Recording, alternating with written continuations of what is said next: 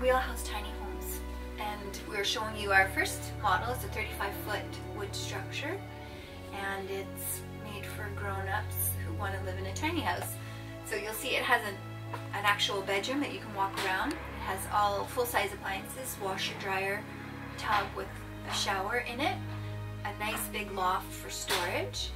Uh, living room has a TV, there's custom cabinets all throughout, and full-size appliances, stove included, dishwasher.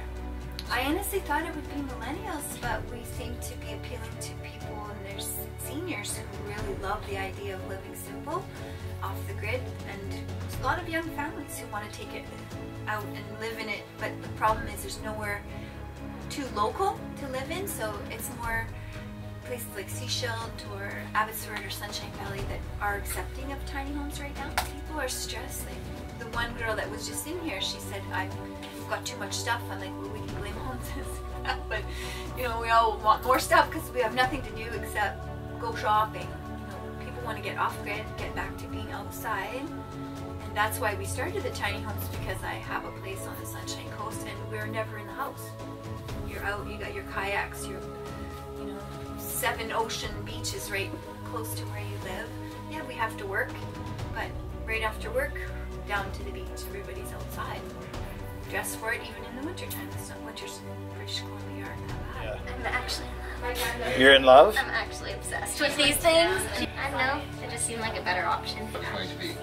When I watch them on TV out That's here, what I've it's been like, saying. really? Like, That's what I've been saying. I have no interest in a tiny house, but this is very cool. Wow, I'm trying to film in between this this. is beautiful. Thank you. Really beautiful. With all the windows, the open spaces. It's bright. It's cozy. It's just perfect. the important stuff, probably the trailer and like the main structure, electrical, plumbing, get that done. You click on, you, you can have two or three different options. This is the most expensive option.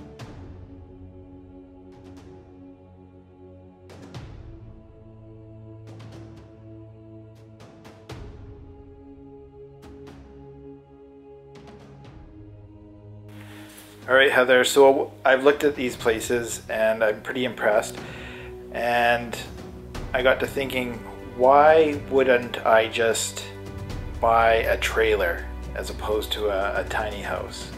Well, a lot of people ask that because it might be less expensive, but this is actually a house. It's a structure. It's wooden and it doesn't have off-gassing. If you walk into a mobile home, take a deep breath, you're gonna feel sick.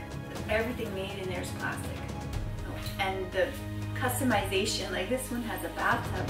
It's really tough to get a full bathtub in one of those plastic RVs. You just don't, it just doesn't happen. So there's a lot of reasons to have this. This isn't gonna rot away. It's not gonna leak. The way these are built, they're just like a house. So as long as you maintain the exterior siding, it, it will last as long as you last.